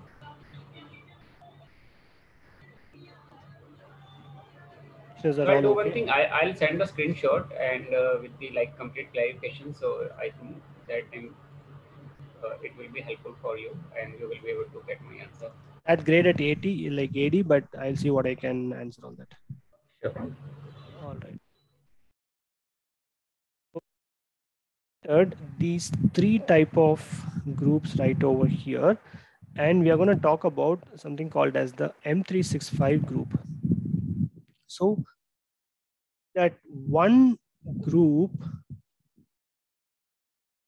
going to be created and that one group is going to replicate at multiple places. So that is the idea over here. I'm going to create it, say like, uh,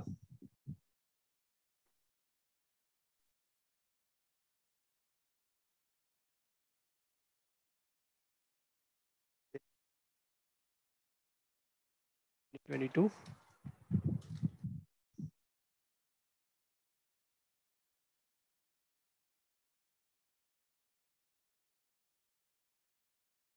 Create this group what is going to happen is like this group is going to replicate or this group is going to show up at multiple places. So one is that it's going to show up onto the azure active directory as one of the group which is not a surprise because like when you create anything and when you create anything when you create any object that will be there on ad that is the basic idea. So like that it is going to be available on ad which is a very normal one which is very common one. And the second point is like it is going to be available on the exchange. That is the second uh, location where it is available. The third location where it is available is the sharepoint it is available it is going to be available on the sharepoint as a sharepoint site. And it is going to be available on the fourth place which is the teams. On the teams online it is going to be available as a group. That is what it is going to do. At four places it is going to be available. The logic. So we just created a group but we did not add a member. So let's go add the members for that group over here like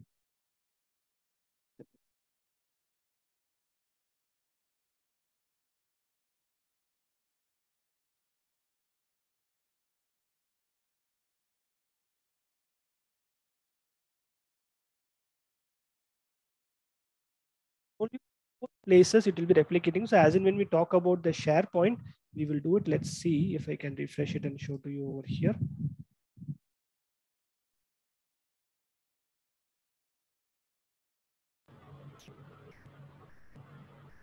So here, uh, like Office 365 group is used as a like we are going to use uh, for the SharePoint, not the mail enabled security group. It is going to be available at both the places. At all the places, it's going to be available. It will be available as a site. It will be available as a as a mail enabled uh, mail enabled group. It is going to be available as a Teams channel. Sorry, Teams group. It is going to be available at multiple places. That's the advantage of it. be available at multiple places. So basically, what is Microsoft is saying is like Microsoft has designed this M365 group for the purpose of collaboration, majorly for the purpose of collaboration. It's like immediately from the site you can send an email. You can you can share it to this group. So for the purpose of collaboration only microsoft has added this kind of group on the exchange online. That is what microsoft says. So as in when we talk about the sharepoint we will talk about saying like how these groups can be used that we created. All right. So these are the four types of groups that are available. As i told you one group one recipient. Simple. One group is one recipient. Think in that way. So you mentioned uh, like uh, in the second one for the mail enabled security group. For we also use the mail enabled security group for permissioning, like for the share path, SharePoint, and this group also like uh, M365. I say permissioning, that's the example I showed to you. When you say permissioning, it's majorly the delegation. Yeah, for the share path, like uh, yeah, for uh, SharePoint. Their point is different, share path is different. Okay. So think about SharePoint when it comes to mail enabled security, it has nothing to do with it. So mm, this mail enabled security is purely for the delegation, granting permission. That's the idea. Now, let's talk about the resources. Those is that a non-living thing which requires a mailbox of what is a resource? Mainly is a non-living thing. Mailbox is a is a living thing for a for a user. Okay shared mailbox is also accessed by the user but this is for the non-living thing like a room which is a conference room is a room which is a conference room. Okay so that is the idea. And let's see so what is the difference between a conference room mailbox and a user mailbox? Between a conference room mailbox and a user mailbox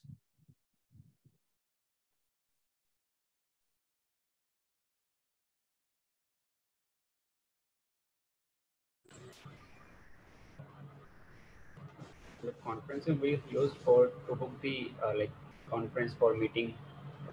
correct. So the question i'm trying to ask is like when you send an email to the conference room mailbox does anyone monitor it and send you a confirmation or what happens? Monitor it manually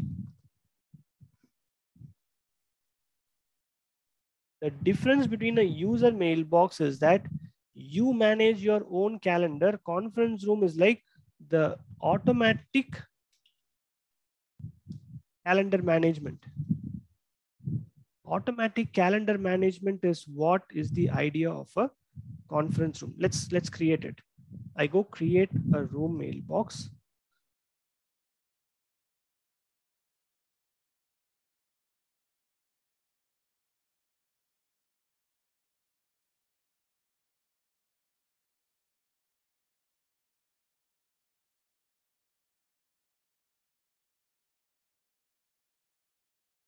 action, I say that 12th floor.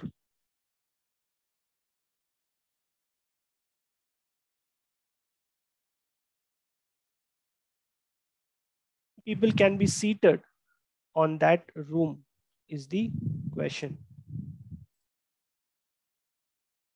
The moment when you create a room mailbox is ready to accept the invitations that you could see it over here in an automatic way. No one is going to sit down and monitor this, this mailboxes unless until if it is designated. How many of your organization has got department secretary or admin secretary who will approve your meeting request? You have to ask them to book the conference room. You have to take approval. They have to approve for booking the conference room. How many of you have that? How many of your organization has that? Literally no, right? Yeah, so that is what is common because when I worked in an organization, they were having an admin secretary. That person will only approve. So now, how can we designate? Now the current scenario is like it is going to automatically accept the bookings, but I'm saying that no, I don't want to allow mm-hmm. people to book it automatically. I want to assign a person, that person is going to approve it. And then only the email has to go. That is what I'm saying.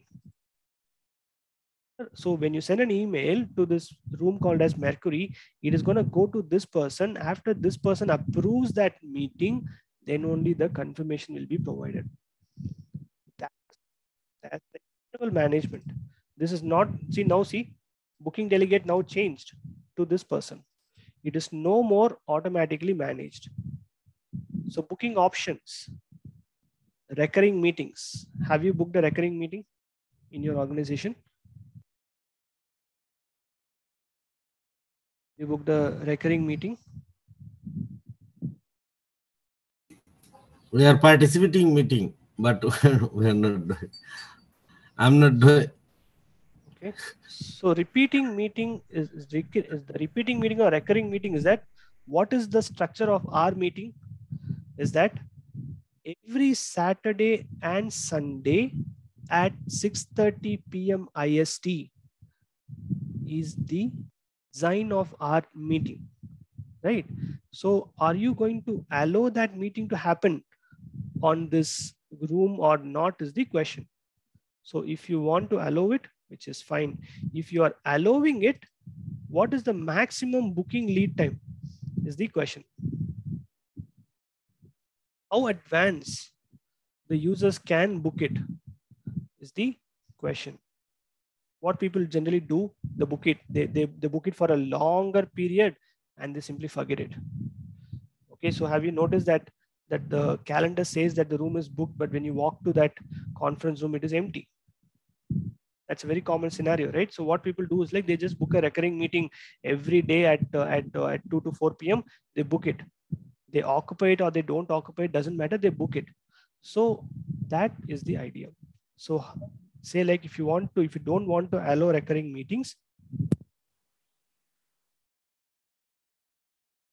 don't want to allow recurring meetings you can cut it off over here. And how advanced people can book it is mentioned over here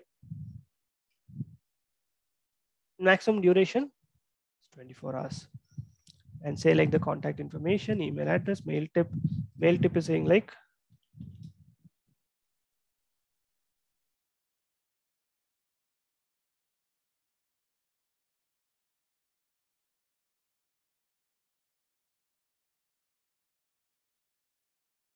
now before people send it they will have this they will get this information before sending it.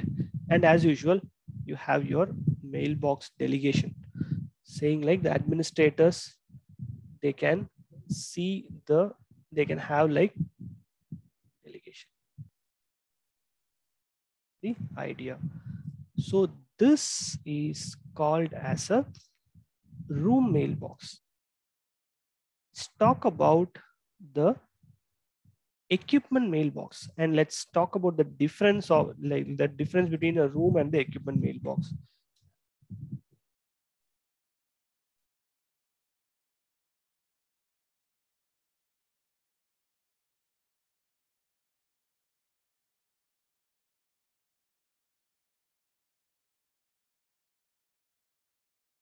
So the equipment name is that i say cab innova as I told you, it's a non-living thing. Lab is a non-living thing. So as you could see that when we created a room mailbox, it was showing us the capacity, phone number, this, that, but here nothing. So you are simple, very simple. So like in your organization, if you if, if people are quarreling for for a table tennis board or a snooker board or a badminton court simply you can create an equipment mailbox and leave it. Let them book it. So first come first serve. Let them book it and then they can use it. That is the way how. So that is purely for a non-living thing.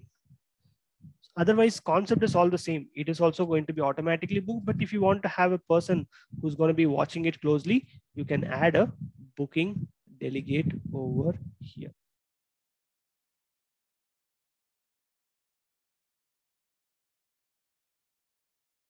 clear everyone is getting everyone is getting a logic about the resources Yes. contacts. So contact is that an outsider, an external email address who wants to be part of your global address list is called as a contact. Already there is one thing available. Let me add a mail contact, say like uh, Amit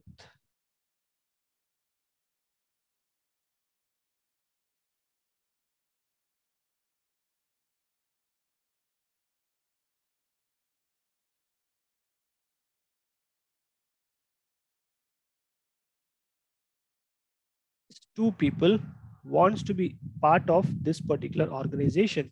Where can we see them? We can see it when you click on this two over here. If you click on the contacts, all contacts, you will be able to see these two people right over here. So these two people are not part of the common organization. These two people are not part of the organization called as SDK Techland.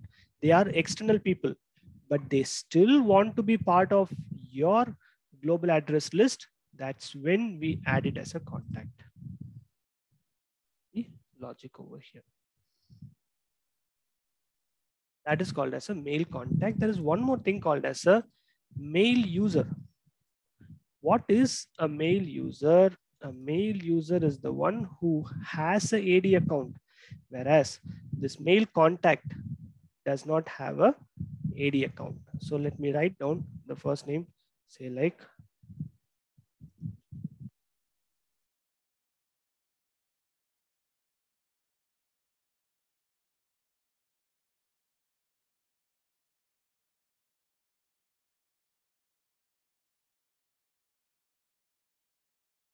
What is a mail user is a person who has an external email address and also has a account in your active directory in what case, in what scenario this kind of users you will be creating is that is that when you are having a contractors, when you are having a contract employees, those people will be having this kind of scenario over here. So let's say like I provide an external email address. So what generally that will happen is like you can add external email address like the way you have your you have your uh, tenant ID.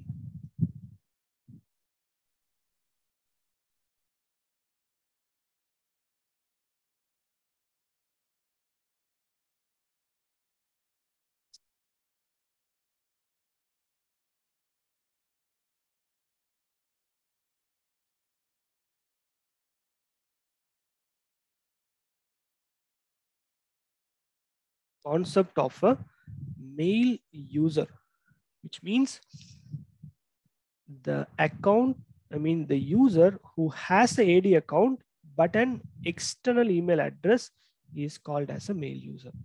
That is the idea.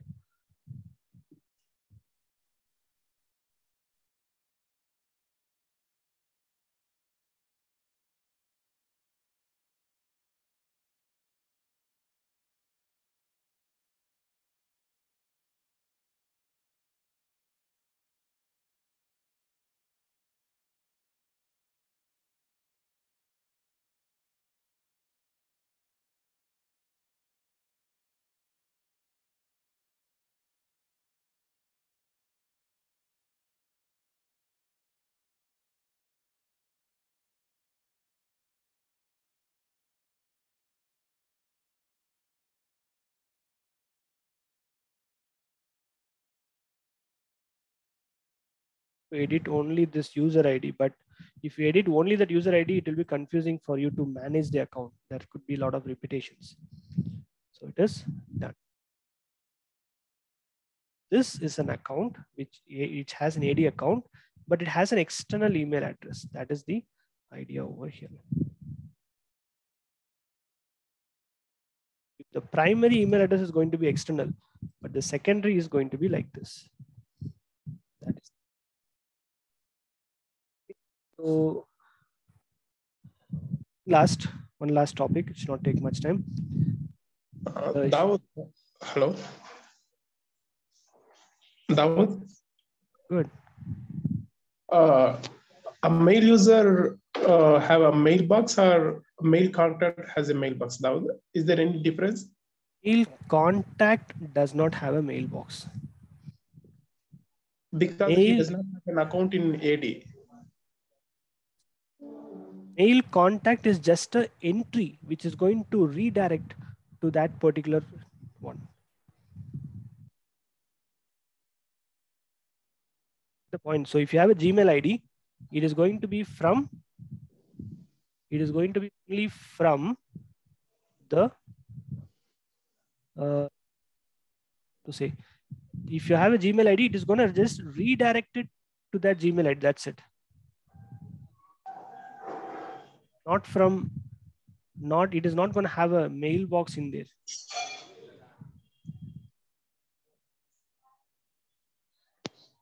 The point.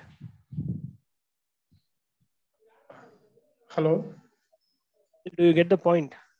No, doubt sorry, I did not get. uh, contact do not have a mailbox. That is just an entry for your Gmail. On the Gmail, you have your mailbox. Yes. But the mail user, yes, that mail user has a AD account and that mail user has a mailbox. Okay. Got it, though. Thank you. Let's talk about the shared mailbox. So as I told you, shared mailbox by the name itself, it is shared common list of people. So what is it I do is like, I'm going to create say like a mailbox called as IT help desk.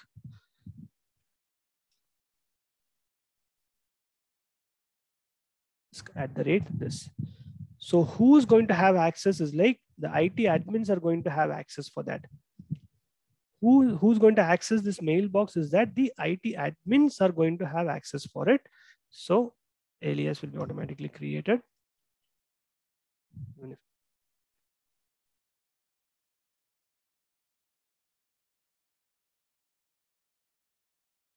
So how to access a shared mailbox is like this. You can click on this open another mailbox and then you say that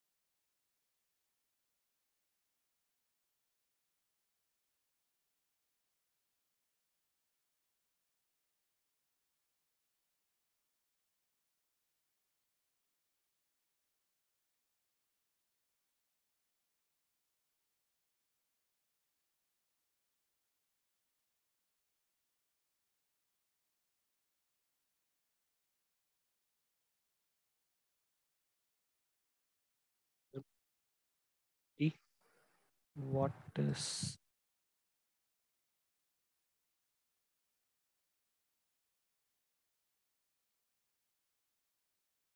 okay so looks to be some intermittent issue but the idea is like this is how you open another mailbox. So what is the concept is like people will connect to their mailbox like this. People will connect to their mailbox from this particular place and they will and they have full access to it.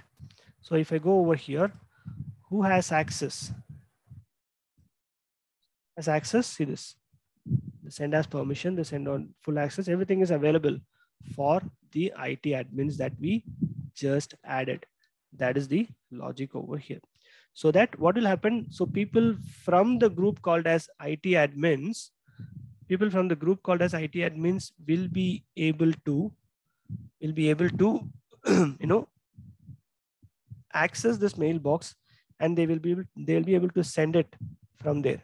That is totally possible. That is the way how it works. So this is what i was saying like you know people organizations they start the it help desk right from day one. So if it is an organization which is running for 10 20 years 10 20 years means like they will they will be having it help desk for a very long time right? So that is the logic. So which means like the, the that the mailbox will be of of like larger in size. So that is the logic over here. Okay so that's why it is very important that it will be it will be it will be like a 20 20 gb 30 gb of size. So that is the problem over here. So that's when that the size of those mailboxes will be like very high so that is that is what is going to eat up a lot of storage space for your for your organization. So that is completely free when you when you move to office 365 that is totally free when you when you go to office 365 it's like it's like you don't have to you don't have to pay anything. So, i mean you don't have to pay anything for this uh, shared mailbox. That is the logic over here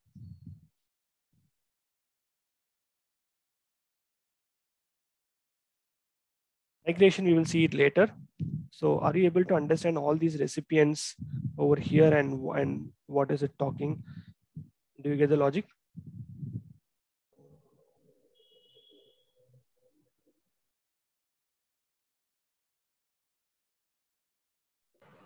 Yes, sir. Yes, all, all clear. So tomorrow, so tomorrow we will be talking about uh, the permissions and uh, compliance management. We will not see it. Compliance management we will talk about uh, when we when we discuss about the you know when we discuss about uh, the security and the compliance. So that is what we will be discussing, and uh, organization protection, mail flow, and so on so on. So, but the major part is like you should be able to, you should be able to, uh, you know, understand the recipients in a much much clear way. That is very important. Hello, Daud. Hello. Hello. Are you hear me? Here you go ahead. Uh, what is the mean CC and BCC? Is black carbon copy. So Oh, when you black- when you send it, the recipient will not see this one. CC is like carbon copy that that the recipients will see it to whom you are sending it. But this BCC to whom you are sending it, no one will know apart from you. All right. Thank you.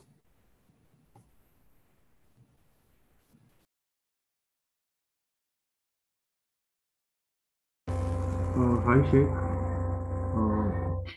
In the, in the Outlook client, uh, if there is uh, any issue adding this shared mailboxes, is there any workaround or is there any folder permissions which needs to be added in the Outlook client, not in the OWA? The permission issue, you don't have to do anything on the Outlook. You have to do everything on to the Exchange server only. There's nothing to be done on the Outlook. So there is a feature. Have you have you have you all heard of a feature called as uh, auto mapping feature? Have you heard something called as an auto mapping feature? Yes. What is the concept of an auto mapping feature is that the moment you are granted the moment you are granted access to a mailbox, it will be automatically coming up in your Outlook. Let me see over here. So let me ref on the left side, automatically it is going to show up over here. Okay, so that is called as an auto mapping feature because the IT help desk is not uh, not refreshing it is not showing up over here so that is the idea so when you are having an issue in terms of permission there is nothing that you can do it on outlook all you have to do is like you will have to do it no you will have to do it uh, in on the server itself.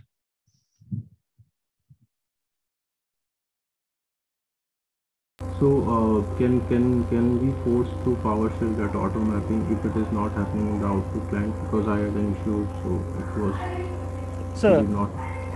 there is a parameter called as hyphen auto mapping through which you can do it. Okay, possible okay.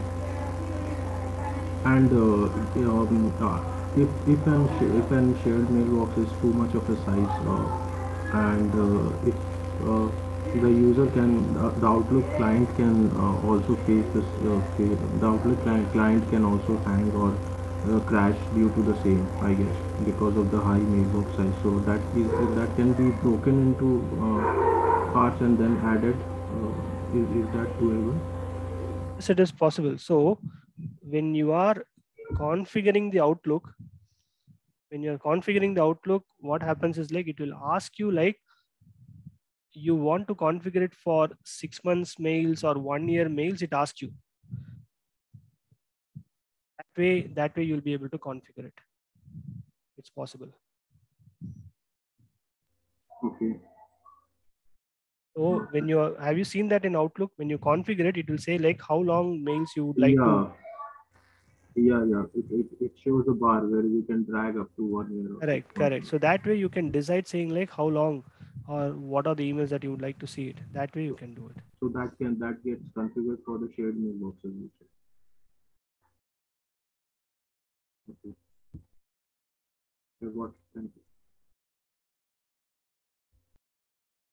So uh, one question I want to answer.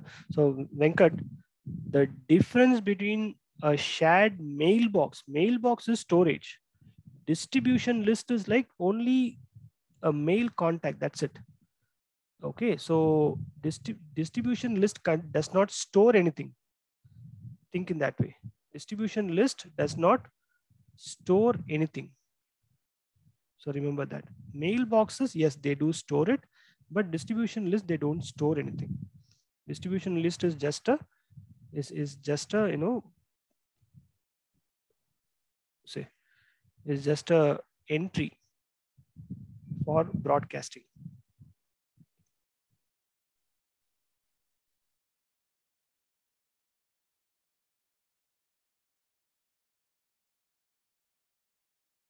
Okay, so I'll send you the notes and allow some time for the mm, recording to be converted and I'll send that to you. Questions before we wind up?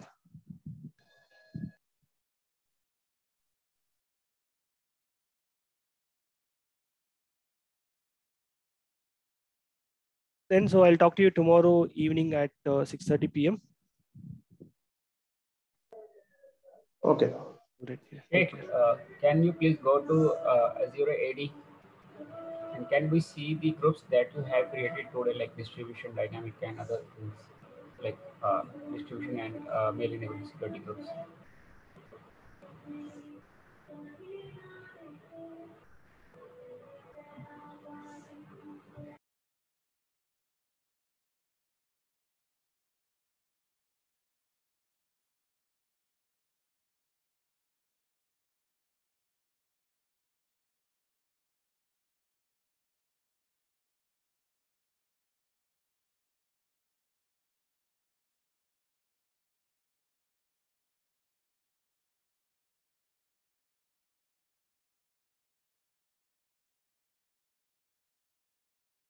So earlier, what I'm saying, if you uh, can we see here the group scope of this uh, HR admins?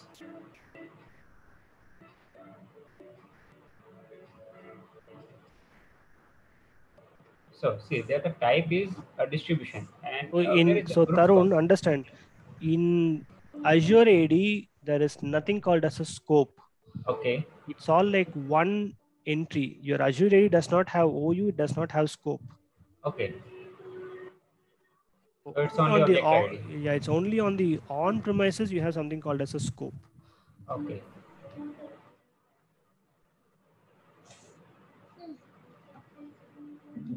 Okay, thank you. So then so I'll talk to you tomorrow evening at 6:30 p.m. then. So I will forward you this notes and the recordings to you shortly. All right. Take care. Bye. Bye bye.